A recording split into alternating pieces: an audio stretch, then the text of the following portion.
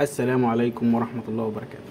إن شاء الله النهاردة هنعمل application هيبقى عبارة عن سؤال وبنجاوب لا إما صح لا إما غلط. دي الحتة اللي هنوصل لها النهاردة نوصل لحد الحتة دي. بعد كده لسه هنكمل في التطبيق ونعمل آه، زرار نجس يجيب السؤال اللي بعده. آه، السؤال هنا بنقول له Canberra is the capital of Australia هي كانبرا هي عاصمة استراليا فأنت بتجاوب لا إما صح لا إما غلط. لو دوست على true فيقول لك correct يعني أنت جاوبت صح. لو دوست false فيقول لك incorrect يعني انت جاوبت غلط. طيب ال- الشاشة دي بتتكون عبارة عن إيه؟ عبارة عن ال... يعني الشكل ده بنحطه في ملف. dot XML ولما ندوس على الزرار ده ويطلع لنا كلام ده بيبقى موجود في ملف آه، امتداده آه، dot Java أو dot Kotlin حسب اللغة اللي إحنا هنستخدمها إحنا هنستخدم إن شاء الله النهاردة لغة ال Java طيب خلينا نعمل project جديد هنروح نقول له new project هنا بيطلع لي شوية template جاهزه بتختار انت ال template انت عايزها. طيب إحنا هنختار empty activity activity فاضية خالص. هنا بيقول لي عايز آه، تسميه إيه فأنا هيبقى اسئله عن الجغرافيا. فهسميه آه، Geo Quiz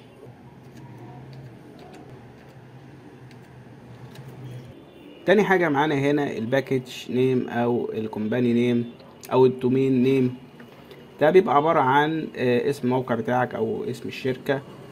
آه، تاني حاجة بيبقى dot آه، اسم التطبيق بتاعك. طيب ده لازم يكون فريد من نوعه عشان لما بنيجي نرفع التطبيق على Google Play بيبقى عن طريق ال package name دي. ولو سيبناها example بيبقى صعب إن إحنا نغيرها لو رفعنا التطبيق على آه، Google Play. آه، فلازم يكون فريد من نوعه ما ينفعش إن هو يتكرر. علشان لما نيجي برضو نعمل تحديث للتطبيق بيبقى عن طريق ال package name ده. بعد كده عندنا ال save location اللي هو المكان اللي هنحفظ فيه المشروع. ويستحسن ما نحطوش على ال C علشان لو حطيناه على ال C وال Windows وقع إيه هيبقى كل المشاريع بتاعتنا ضاعت. فهنخليه دايما في ال E أو في ملف تاني غير ال C. بعد كده اللغة بتاعتنا فعندنا لغة الجافا آه، أو لغة ال Kotlin. إحنا هنشتغل النهاردة جافا بعد كده ال minimum SDK يعني أقل اصدار آه، Android التطبيق بتاعك ده هيبتدي إن هو يشتغل عليه. فاحنا هنا اخترنا Android خمسة وهو بيقول لك هيشتغل على تمانية وتسعين في المية من الأجهزة. فأقول له هنا finish هيبتدي إن هو يعمل لي الملفات بتاعة المشروع. كده هو خلص معايا أهو التحميل الملفات بتاعته. عندنا هنا ال navigation بتاعتنا لو دوسنا هنا واخترنا project هيطلع لي ملفات المشروع كلها. فهندوس هنا الاسم على اسم ال project بتاعنا ونخش على app ونخش على source عندنا هنا ال main وعندنا الجافا ده اللي هو الكود بتاعنا وعندنا ال res برضو ومنها في ال layout ال layout ده اللي هي ال activity main بتاعتنا اللي هنبتدي نرسم الشكل فيها. طيب من غير اللفة دي كلها لو كنا على ال Android هنا هنا بيجيب لي على طول الملفات اللي أنا بستخدمها اللي هي جافا وهنا ال activity على طول ال layout على طول ال activity main على طول نجيبها من هنا. فهنا دايما نخليها Android عشان نجيب الحاجات اللي إحنا بنستخدمها بس. لو عايزين نجيب ال project ونجيب كل الملف بتاعت المشروع بنقف ونختارها من هنا. طيب خليني نغير الاسم ده عشان يبقى اسم آه ليه علاقة بالتطبيق بتاعي. فهنقول هنا refactor rename وهنخليها activity underscore quiz. واقول له refactor واغير برضو ال main activity أقول له refactor rename وهقول له هنا quiz activity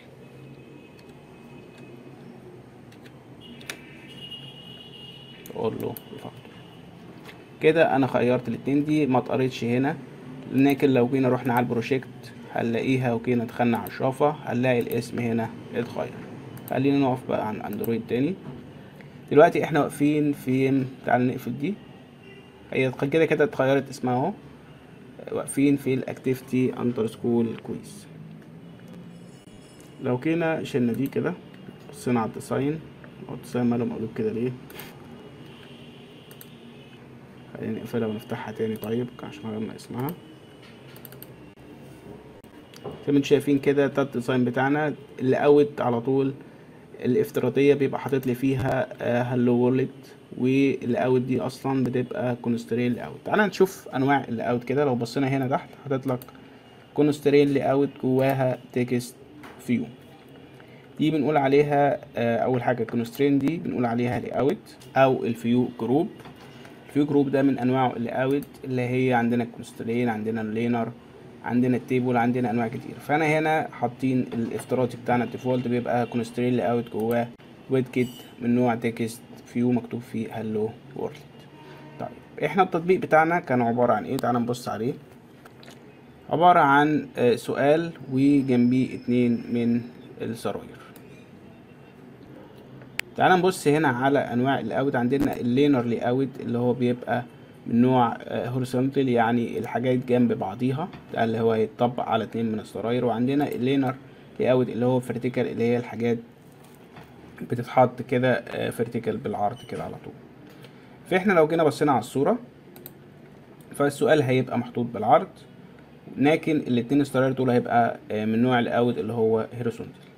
فإحنا هنختار اتنين ال layout واحدة هتبقى من نوع vertical اللي هي دي والتانية هتبقى من نوع horizontal عشان نحط فيها الاتنين زراير وهتبقى الاتنين جوه بعضيهم طيب تعالى نشيل دلوقتي ال constraint layout هو ال constraint layout محطوط في قلب ده text view تعالى نشيل ده دلوقتي كده.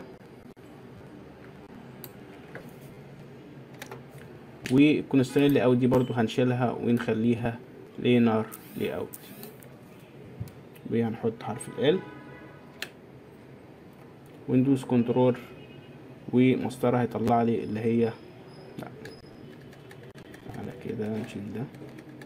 مجرد ما قلت control ومسطرة هيطلع لك الحاجات اللي ممكن تتكتب فأنا هقول له حرف L عشان يطلع يساعدني في الكتابة. هتلاقيه كاتب هنا اهي linear layout وحاطط لك علامة ال vertical عليها فأقول له هي دي. طيب هو هنا كتب إن هي vertical لا ما كتبش.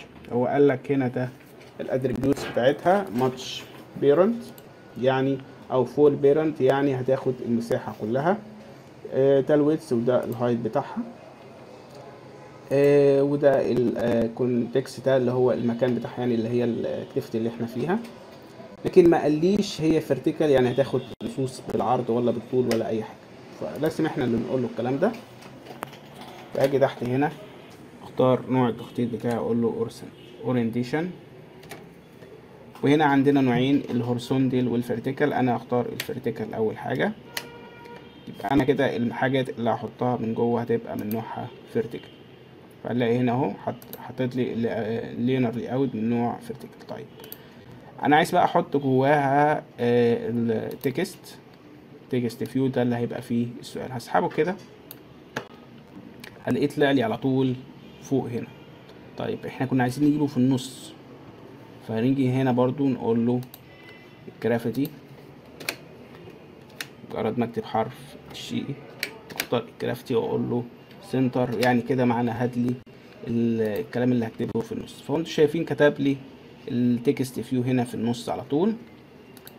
خلينا نبص بقى على ال text view اللي إحنا عاملينه. هنا أنا مختاره match parent يعني هياخد المساحة كلها ال width بتاعه وال height برضو wrap content على قد الكلام. تعالى نجيب دي كده ال height اللي هو من فوق لتحت كده فانا قلت له على قد الكلام. ال width اللي هو المساحة دي كلها يعني واخد بص ال width اللي هو بتاعه. فانا فمكتوب له match match parent فواخد من أول الصفحة لآخر الصفحة. لكن ال height واخد على قد الكلام بس. طيب خلينا ناخد برضو آه خلي دي wrap content برضو على قد السؤال.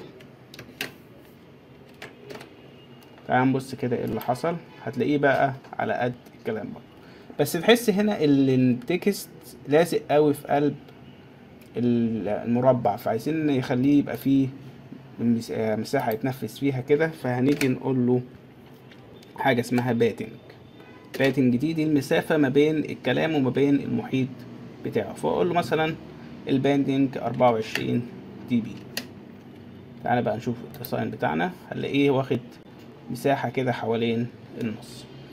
طيب خلينا بقى نكتب ال text بتاعنا. انت هنا مكتوب text view طيب إحنا انت هنا ممكن تكتب الكلام من هنا على طول ويظهر بس دي مش طريقة كويسة. المفروض ان إحنا هنعمل ملف للكلام ده. يعني نعمل ملف في الفاليوز هنا في ملف اسمه string. ده بتكتب فيه الاسامي وبتديها اي دي تنده عليها من هنا. طيب خلينا أول حاجة نكتب كده الاسم السؤال من هنا كده على طول. وهقول له كانبرا is the capital of Australia.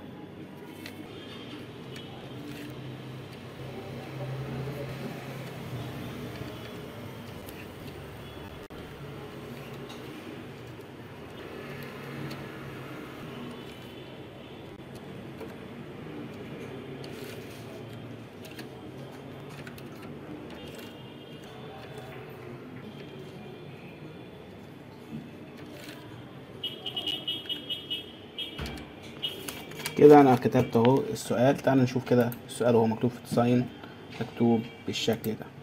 لو جينا هنا هنلاقي العلامة دي هو بيقول لك تعال نشوفها كده بيقول لك ما ينفعش إن أنت تكتب السؤال ده عشان لو حبيت تترجم ولا حاجة المفروض إن أنت تحطه في ملف آه ال string فأقول له هنا حل لي المشكلة دي. فهنا بيقول لي أنت هتضيف resource name فبيقول لي هنا اكتب ال resource اللي هتنادي عليه وهنا اكتب ال value بتاعك. فال value هو هو كتب لي السؤال هنا. خلينا نحط في الآخر كده نقطة. هنا بقى ال يعني الطريقة ال ID اللي هتنده بيها السؤال ده. فهنا أنا هسميه question underscore text.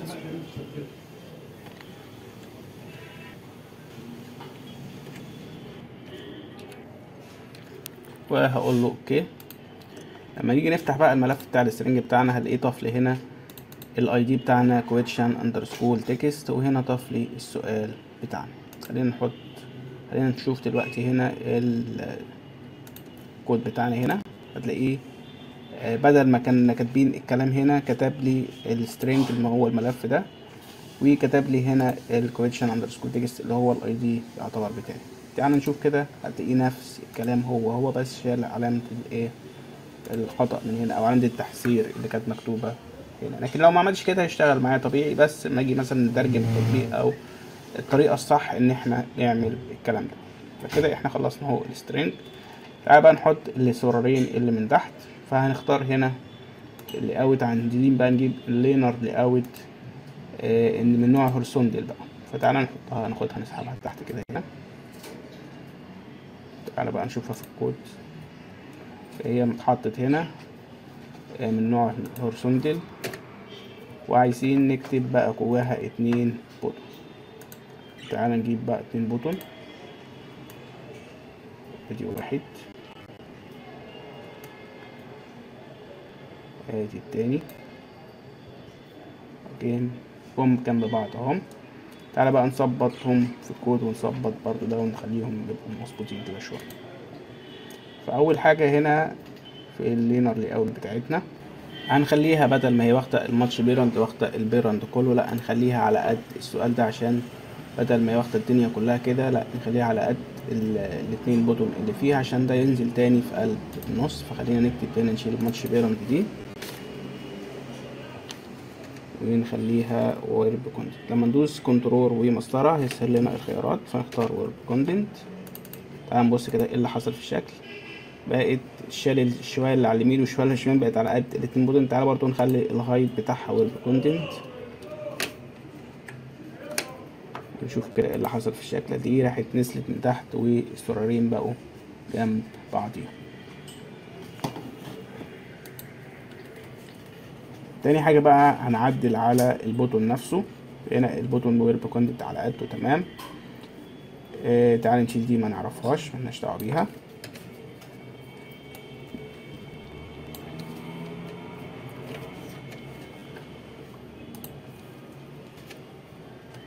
فكده بقى عندنا اتنين button كل واحد wrap content ناقص بقى ال text اللي هيبقى جوه ال button. عايزين نعمل ده مثلا نخليه true والتاني ده هنخليه false فأول واحد هنا نيجي نكتب عليه true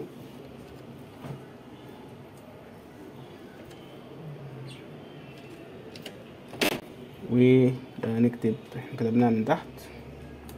خلي ده اللي true إحنا كتبنا في إحنا كتبنا في ال width.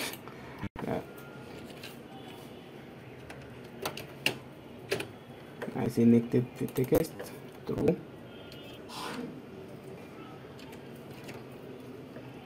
وفي ال- واللي جنبيه ده هنخليه false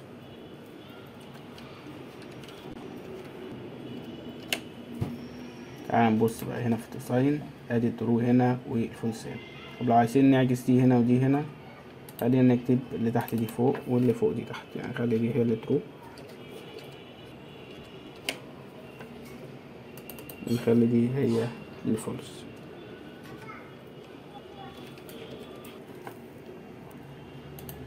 فكده بقى عندنا الدرو هنا على اليمين والفولس على الشمال. تاني حاجة برضو هنلاقي نفس التخطيط ده. بيقولك عايزين نحطه في ملف ملف string. فبدل ما إحنا نعمله من هنا إحنا نخش على ملف string على طول من هنا. ونكتب برضو هخلينا ناخد دي كوبي كده.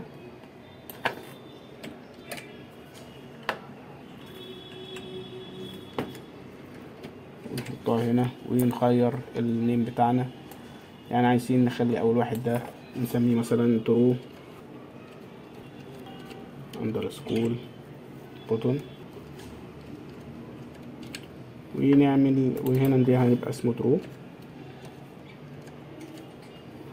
ونعمل برضو واحد زيه كده. ناخده copy. وهنسميه false.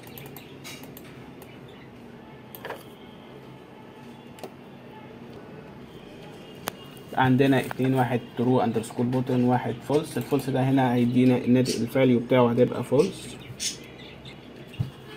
فكده إحنا عملنا ال text بتاع الطريقة هنيجي بقى ناخد ال ID ده ونروح نحطه عندنا فين في ال activity underscore quiz هنخش على الكود وهنشيل كلمة false هنا دي. نحط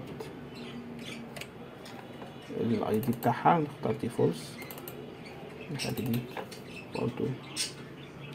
المفروض نحط علامة الايه ال string الأول بعدين ال slash وبعدين اسم الحاجة. فتعالى نجيب دي الأول كده. نقول له علامة ال at ونقول له S string على طول.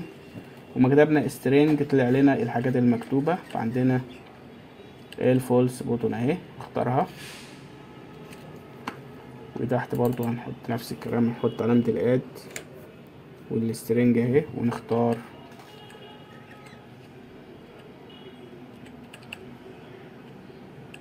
ال true button كده إحنا حطينا اهو ال true حطينا ال false طريقة الإيه؟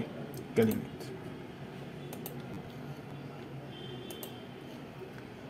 طيب تعالى نشيل دي ملناش دعوة بيها. يبقى عندنا كده تعالى نشوف وقت ال design بتاعنا. عندنا آدي ال false وآدي ال true كده إحنا صممنا الشكل أهو. ناقص إن إحنا نخش على ال activity. شوفة ونبتدي نغير بقى نحط لما ندوس على true يطلع لنا false يطلع لنا إجابة صح أو غلط. فهنخش هنا على ال main activity اللي إحنا سميناها quiz activity لو تلاحظ هنا آه عندك حاجة إن أنت بتربط ال activity دي على ال quiz activity فهنا مختارين R dot layout dot activity quiz يعني أنت رابط الكلام اللي هيحصل هنا بال activity quiz طيب. إحنا عشان نعمل الكود ده فمحتاجين أول حاجة نربط الزرارين بتوعنا.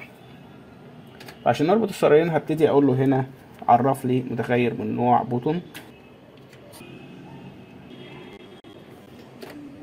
فكتبت نوع المتغير وهو راح حاطه هنا في ال import على طول. لو تلاحظوا فوق هنا أهو عرف لي widget من نوع button.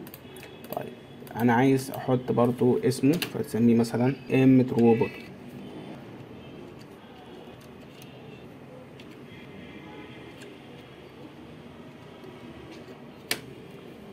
بعدين هقول له إن ده أنا كده عرفت المتغير هقول له بقى ده بيساوي.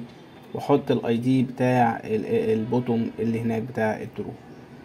فعشان أحط ال ID بتاعه فأقول له هنا find هي طلع لي أول واحدة اهي find view by ID فلما أقول له find view by ID وأبتدي أحط ال ID بتاعه فأقول له برضو control مسطره عشان أختار R ID وأقول له dot هيطلع لي هنا ال button اللي هناك إحنا مسمينه button إيه فتعالى نبص هنا هناك ونحط ال ID لل button اللي هناك. فهنا حاطين ID button 2 و button 1 لا أنا عايز أسميهم أسامي عشان أعرف أناديهم فهسمي واحد true واحد false خلينا نشيل ال button دي دي واخد ال false button دي copy كده control C أبتدي أحطها هنا. فانا كده حطيت له ال ID بتاعه. وبرضه نحط له ال ID بتاعه وناخد من تحت كده اللي كنا عاملينه ال string نحطه. هنا فأنا كده عملت لهم ID. تعالى بقى ن access عليهم داخل الداله دي. فهندوس هنا control مسطرة هيطلع لي اللي هناك. فاختار هنا ال true button. ونقفل القفلة بتاعتنا. كده أنا عرفت ال mTrueButton ال mTrueButton اللي من نوع button إن هو مكانه هناك. طيب. الدالة دي هنا متعرفة ال scope بتاعها داخل ال onCreate عشان أخليه يبقى global هحطه هنا في ال class نفسه. فخلينا ناخد ده كده copy.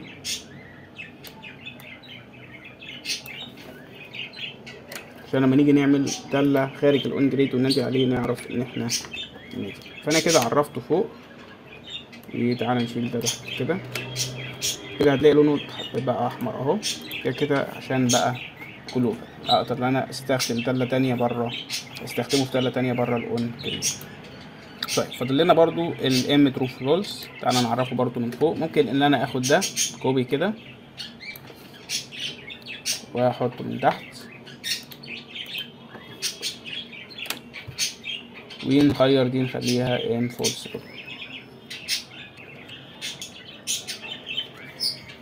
دي كده طريقة في طريقة تانية ان أنا أخليهم هما الاتنين على نفس السطر عشان نفس النوع الاتنين من نوع button. فأحط الشرطة دي وأخد ده.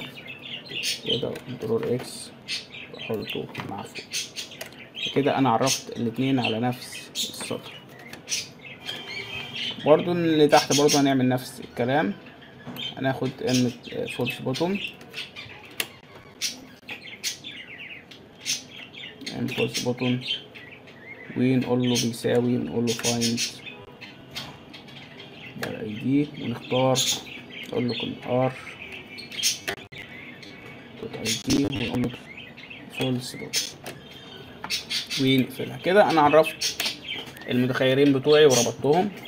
فاضل إن أنا بقى نعمل الدالة بتاعتنا آه اللي هي لما يدوس على true يطلع لنا آه true لما يدوس على false يطلع لنا false قبل ما نعمل الدالة بتاعتنا لسه نبقى فاهمين أول حاجة التطبيق بيشتغل إزاي. التطبيق بيبقى مستني مننا حدث معين عشان يرد علينا بحدث تاني. بنسميه اللي هو مستمع لحدث بنقول عليه listener مستمع لحدث معين.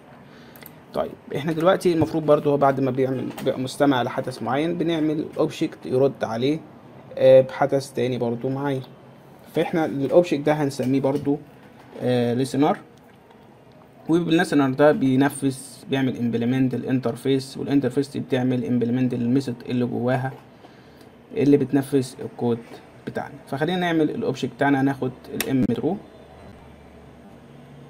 mTrueButton وأقول له dot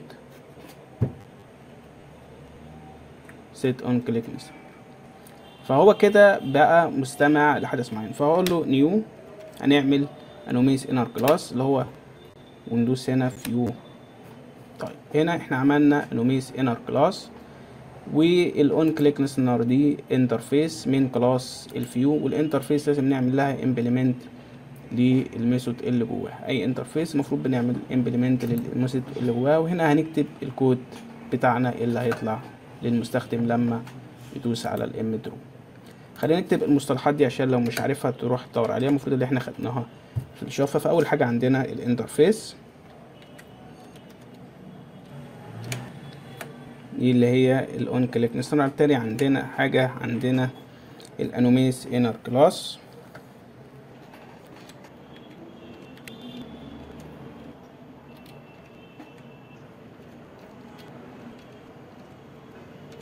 فإحنا كده اللي عندنا التعريفين دول المفروض إن أنت تكون عارفهم في ال Java ال anonymous inner class اللي هو إحنا عملنا class وعملنا ليه override للدالة اللي جواه من غير ما نكتب اسم ال class. class داخلي طيب هنا المفروض إن إحنا هنكتب الدالة بتاعتنا. الدالة بتاعتنا المفروض إن إحنا عايزين نعمل toast message عايزين رسالة صغيرة كده تطلع. إيه المستخدم مش هيتفاعل معاه بأي حاجة هي رسالة بس هتطلع له تقول له أنت جاوبت صح ولا جاوبت غلط. فهو لما يدوس على true عايزين نقول له توست هنا نعمل له نكتب حرف ال T capital نختار ال class اللي اسمه توست ونقول له dot make text الدالة بتاعته. ونحط هنا تلاتة parameter بياخد مننا تلاتة parameter أول parameter هنا المكان اللي هيتنفذ فيه اللي هو عايز ال quiz activity آه تاني parameter النص بتاعنا. تالت parameter المدة عايز تبقى مدته طويلة ولا صغيرة. فأول حاجة هنا أنا هكتب اسم ال activity بتاعتي. quiz. نكتبها small quiz activity وأقول له dot this تاني حاجة هنا هو عايز ال text بتاعي. طيب ال text إحنا هنروح على ملف ال string نعمل ال text بتاعنا. خلينا ناخد دي كده copy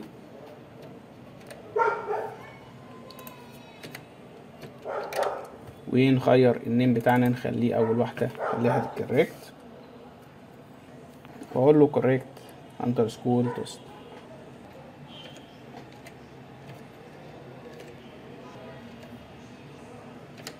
وال value بتاعته اللي هي... اللي هيطلعها هنقول correct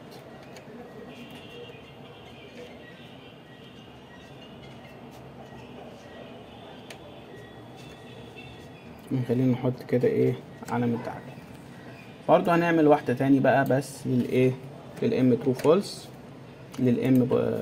للام فولس ترو الام فولس بوتون وهنا هنخليها incorrect الناتج بتاعه يطلع لنا incorrect طيب خلينا بقى نروح هنا لل quiz activity بتاعنا. نقول له R string R string وأقول له dot واختار ال correct toast تاني حاجة هنا المدة هروح دايس control ومسطرة. واختار اللون يعني مدة طويلة. آخر حاجة بقى هقول له dot show عشان يعرضها. dot show بس كده اتقفلت الأول واحدة. معايا. برضو هعمل نفس الكلام ده بس هعمله للايه لل m true false لل m false button هاخده copy كده. نفس الكلام هو هو. وأغير ال m true أخليها m false خلينا نشيل دي. أقول له m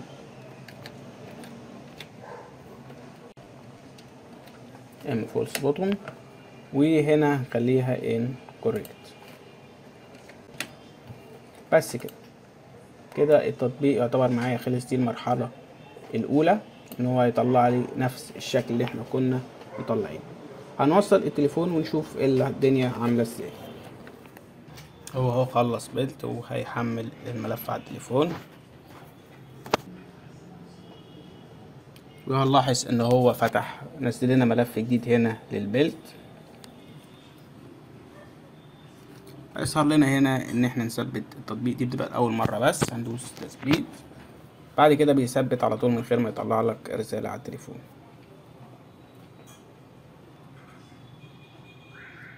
بس أدي طلع لنا التليفون وبيقول لي Canberra is capital of Australia فأنا لو قلت له true هيقول لي correct لو قلت له false هيطلع لي incorrect بس كده وده كانت حلقة النهاردة وإن شاء الله الحلقة الجاية هنحط بقى الزرار اللي يجيب السؤال اللي بعده يجيب النيكست ويجيب الأسئلة اللي بعده وكده. ويتأكد بقى فعلا إذا كان السؤال ده صح ولا غلط. إن شاء الله ده هنشوفه في الحلقات الجاية. كده خلصت حلقة النهاردة وشكرا لحسن استماعكم. والسلام عليكم ورحمة الله وبركاته.